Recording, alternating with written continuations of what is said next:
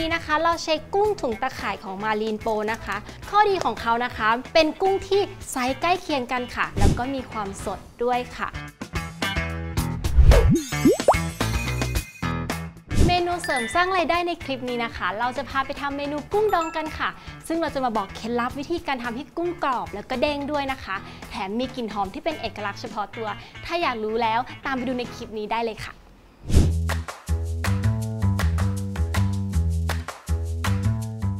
ละค่ะ เรามาเริ่มต้นนะคะ กับการทำกุ้งกันก่อนเลยค่ะ วันนี้นะคะเราใช้กุ้งถุงตะข่ายของมารีนโปนะคะ ถ้าใครกำลังยืนเลือกกุ้งอยู่นะคะ สามารถหยุดแล้วก็มาหยิบมารีนโปไปได้เลยค่ะ เพราะว่าเขาเลือกกุ้งมาให้เราเรียบร้อยแล้วนะคะ เป็นกุ้งสดนะคะ อยู่ในถุงตะข่ายแบบนี้ค่ะ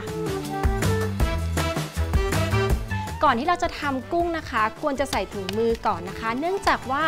กุ้งดองเป็นอาหารที่ไม่ผ่านความร้อนแล้วค่ะ ดังนั้นการรักษา ความสะอาดไม่ให้ปนเปื้อนเนี่ยถือว่าเป็นสิ่งสำคัญค่ะ เรามีกุ้งสดๆนะคะ เราแกะหัวเขาออกค่ะ จากนั้นนะคะ แกะเปลือกของเขาทั้งหมดค่ะ แต่ว่าไว้หางนะคะเพื่อความสวยงาม หลังจากนั้นนะคะเชฟจะมีไม้ปลายแหลมค่ะสำหรับจิ้มนะคะ เราก็เอาเส้นดำข้างหลังกุ้งออกแบบนี้ค่ะ ดึงออกได้เลยค่ะ นี่แล้วจะออกมาทางเส้นแบบนี้เลยนะคะ หลังจากนั้นเราจะนำไปล้างโซดากันค่ะ นี่แหละค่ะ เป็นเคล็ดลับเนื่องจากว่าโซดานะคะเขาเป็นด่างสามารถทำให้ไขมันที่อยู่บริเวณ เปลือกกุ้งหรือเนื้อกุ้งเนี่ยออกไปได้ด้วยค่ะ หลังจากที่เราล้างด้วยโซดาแล้วนะคะคราบมันบริเวณเปลือกกุ้งเนี่ยก็จะหลุดออกไปค่ะ แต่ว่าเราอย่าลืมล้างน้ำเปล่าซ้ำอีกหนึ่งครั้งนะคะ แล้วก็แนะนำให้เป็นน้ำเย็นเหมือนเดิมค่ะ เนื่องจากว่าถ้าเราไม่ล้างในน้ำเย็นเนี่ยก็จะทำให้ความสดของกุ้งลดลงด้วยนะคะ หลังจากที่ล้างน้ำเปล่าเสร็จแล้วนะคะ เราก็จะต้องเอากุ้งมาซับให้แห้งค่ะ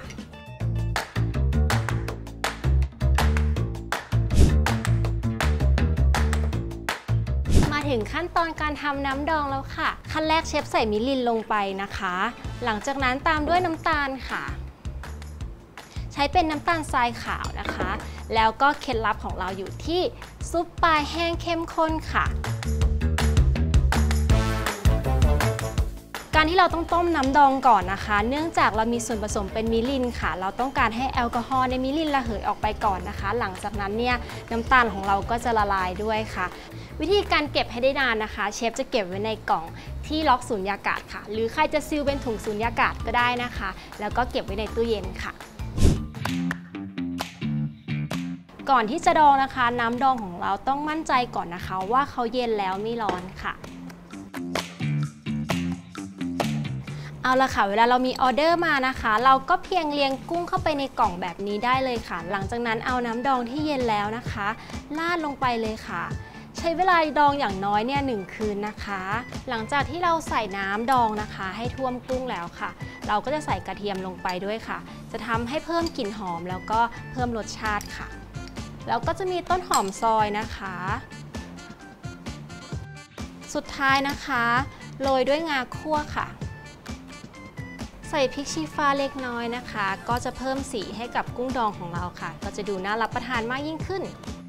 เวลาเราจะจัดเสิร์ฟนะคะ ง่ายๆเลยค่ะ เราก็จะมีกุ้งดองนะคะ มีข้าวญี่ปุ่นร้อนๆค่ะ และอีกหนึ่งอย่างที่ขาดไม่ได้ก็จะเป็นสาหร่ายแผ่นแบบนี้นะคะ เอาไว้สำหรับห่อข้าวสวยร้อนๆนะคะทานกับกุ้งดองอร่อยมากเลยค่ะ ที่จิ้มนะคะก็จะมีเป็นโคชูจังค่ะ นอกจากนั้นแล้วนะคะ ยังมีน้ำจิ้มซีฟู้ดของจักรพรรดิค่ะ ซึ่งอร่อยมากเลยนะคะแล้วก็อยู่ในขวดทำให้เราเทแบบนี้ก็ขายได้เลยค่ะ ง่ายแล้วก็สะดวกมากๆเลยนะคะ